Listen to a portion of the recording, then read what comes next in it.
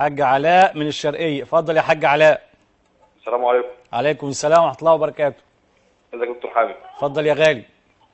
حضرتك أنا اتكلمت على المزارع الكبيرة بس ما اتكلمتش على المربى الصغير. يحط البقره الحلاب في قد إيه بالظبط؟ هو نفس المربى الصغير اللي قلته.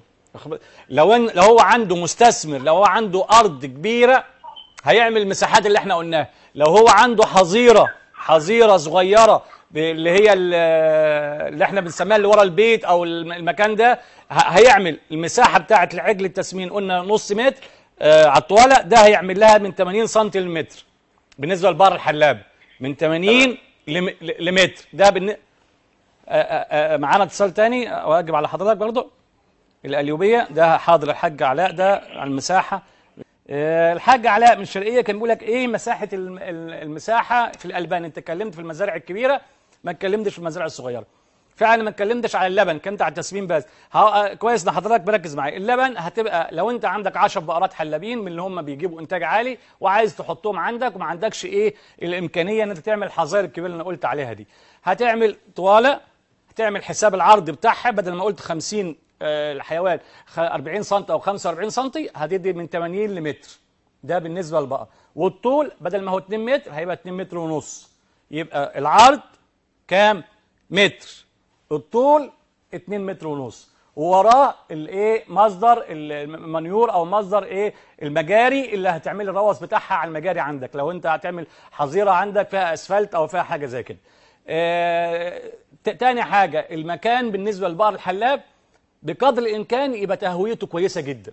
وظله سامح ما تقفلهاش خالص ما تخليهاش مقفولة عليها ويحصل لها مشكلة أكبر من الأمونيا اللي طالعة والمشاكل دي. لازم الشبابيك تكون م- مفتحة أول بعضها. الشبابيك عليها سلك عليها سلك عندك في الحظيرة بتاعتك عشان الدبان والناموس تقلله على قد ما تقدر.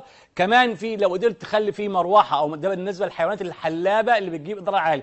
مروحة أو مرح أو مروحتين على قد الأربع بقرات أو الخمس بقرات اللي عندك يبقى خير وبركة. تجيب الكارولو أو أو حلقة أو بتاع الحليب اليدوي الكارول أو الحليب الحليب الآلي اللي هي الواحد واحد الحليب الآلي الصغيرة تشتريها ب 4000 أو 5000 أو 7000 وتبدأ تحلب حيواناتك أول بأول بال- بال- بالحليب الآلي. مش هينفع تحلب بقرة بتجيب 30 كيلو أو 40 كيلو بإيدك.